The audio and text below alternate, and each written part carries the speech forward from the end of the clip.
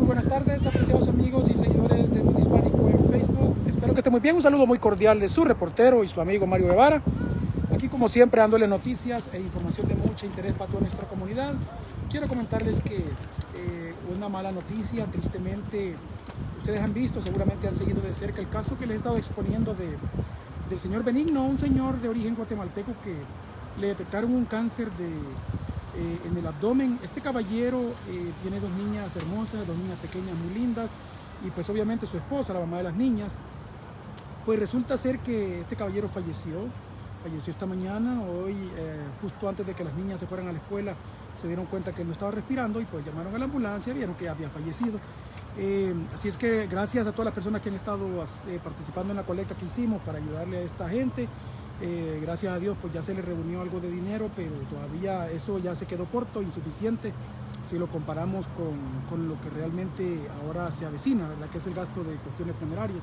Y pues bueno, ahora que se están conectando, quiero comentarles un poco sobre mi crónica de hoy tiene que ver con la historia de un, un hombre también casualmente guatemalteco, pero este hombre es un hombre de raíces indígenas, un hombre que se vino a Estados Unidos, un muchacho de hecho, tiene 26 años, eh, se vino para Estados Unidos y se fue a radicar a las montañas del norte de Carolina, de Carolina del Norte. Y vaya la redundancia, ¿no? Y este muchacho, eh, lastimosamente para él, ¿verdad?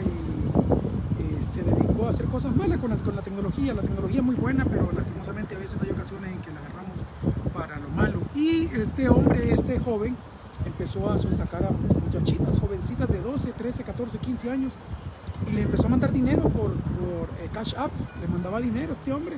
¿Y cuál es la sorpresa? No? Que el dinero no era en balde, o sea, tampoco era rico, él de hecho trabajaba en el campo, pero todo el dinero que él mandaba era para que, le mandara, para que ellas le enviaran fotos sugestivas fotos explícitas donde ellas estaban desnudas y después él armaba, él armaba videos pornográficos con esas imágenes en video y en foto.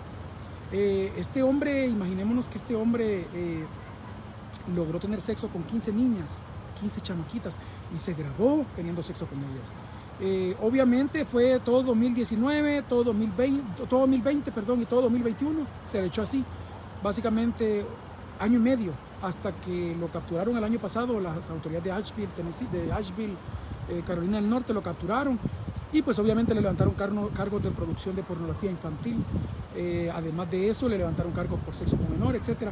Un juez lo acaba de condenar a 28 años de cárcel. Él va a salir cuando tenga 54 años de edad.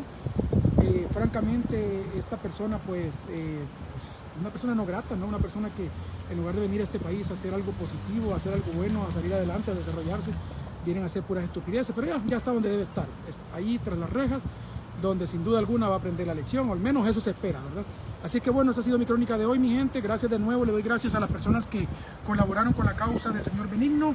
Todavía es tiempo, si alguno quiere aportar, ¿verdad? Vamos, eh, seguramente vienen gastos todavía peores, todavía más serios, mayores, y bueno, juntos podemos marcar la diferencia. Hasta pronto, su amigo y su reportero Mario Guevara. Recuerden, lo que primero aquí, compartan este video y que Dios me lo bendiga.